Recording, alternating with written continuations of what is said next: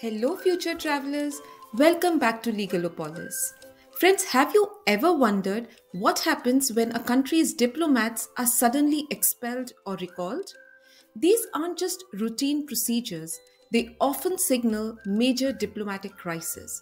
Today, we are diving into what it means when diplomats are sent home, the international consequences that follow, and some fascinating facts about how diplomacy works. But first, let's break down the basics. What is an embassy and a consulate? Friends, an embassy is the main diplomatic mission of a sending country located in the capital of a host country or the receiving country. It represents the sending government in official matters like managing political relations and addressing security and economic concerns. The person in charge is known as an ambassador, who is generally the highest ranking diplomat who represents their country.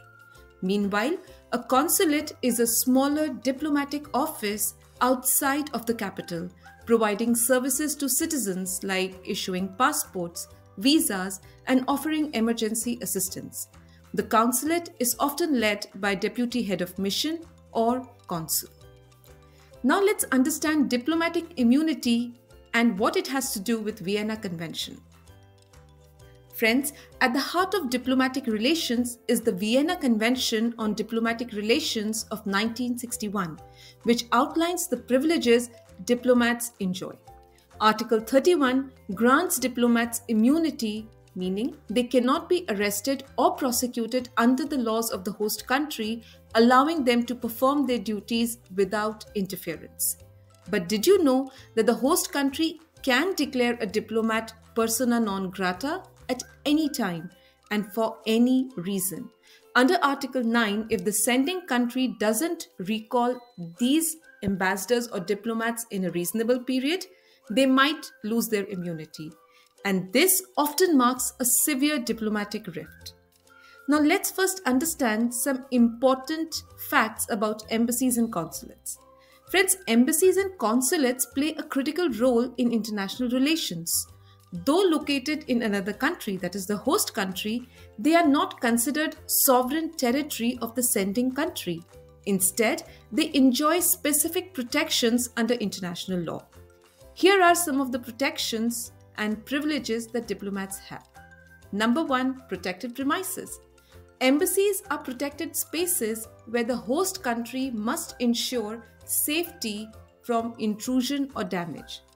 While these embassies do not have sovereign status, the premises are treated as inviolable, means no one can enter without permission from the head of the mission. Number two, safeguarding documents. The documents and archives of an embassy remain inviolable and cannot be seized or opened by the host government. This protection helps maintain the confidentiality of sensitive information. Then comes number three, Diplomatic bags. Friends, diplomatic bags are the bags that are used for transporting sensitive material or information. These bags are exempt from inspection and the couriers delivering them cannot be arrested or detained, ensuring secure transfer of information. Number 4. Immunity from arrest. Diplomats cannot be arrested or detained by the host country. They enjoy immunity that protects their dignity, allowing them to fulfill their responsibilities without any fear of interference. Number five, they have legal immunity. Diplomats are generally immune from civil and criminal jurisdiction of the host country unless they engage in activities outside of their official duties. The sending country may choose to waive this immunity if necessary. Number 6. Tax exemption. Diplomatic missions benefit from exemptions on taxes and custom duties, facilitating their operations in the host country. Number 7. Family protection.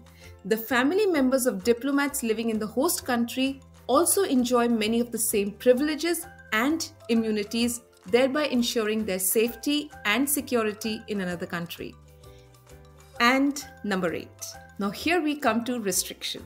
Diplomats and their families are prohibited from acquiring citizenship in the host country.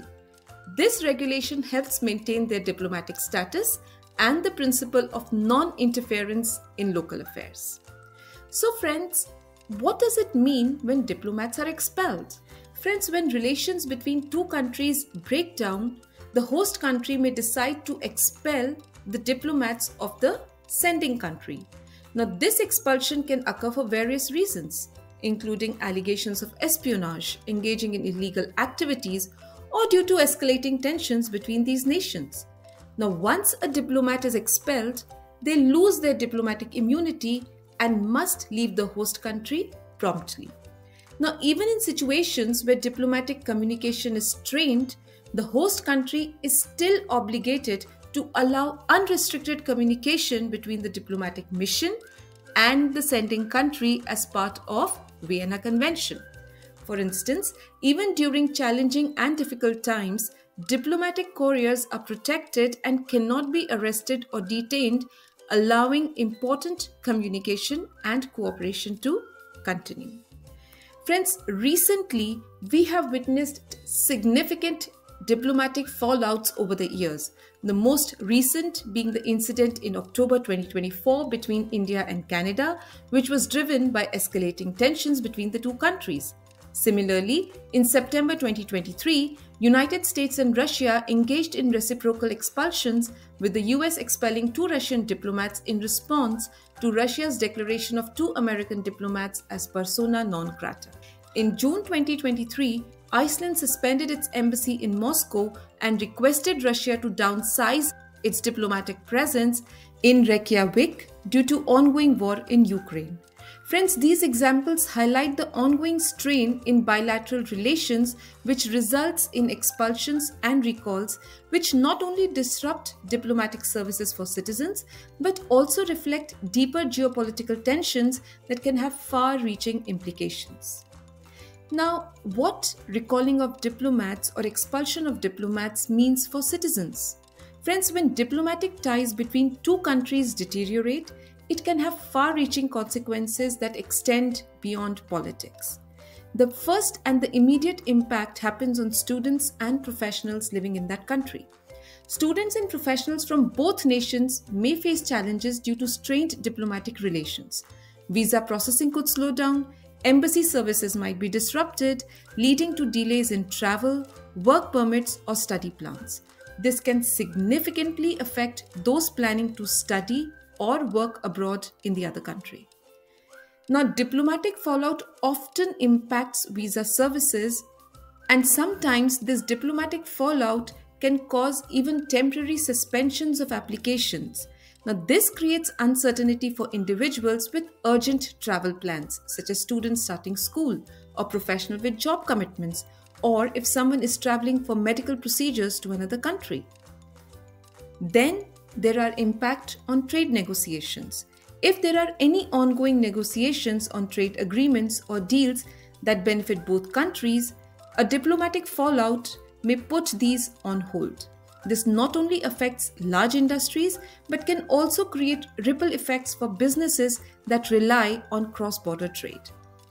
Friends, when tensions rise, citizens of both countries may become hesitant to travel for tourism, education, work, or family visits.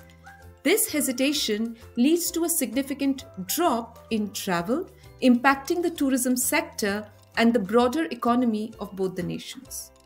And of course, whether related to tourism, trade, or educational exchanges, diplomatic fallout has the potential to negatively affect both economies. Fewer people traveling, working, or investing in each other's countries can stall economic growth and opportunities. These are just some of the potential consequences of diplomatic disputes, illustrating how far reaching the impact can be on everyday lives.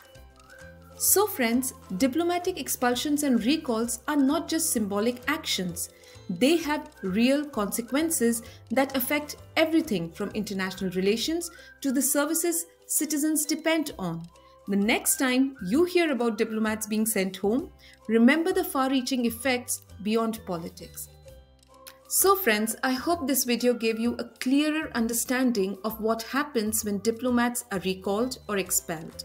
If you found this video helpful, please consider subscribing for more immigration related content. I wish you all the very best for your upcoming visa processing. I hope it happens timely and successfully.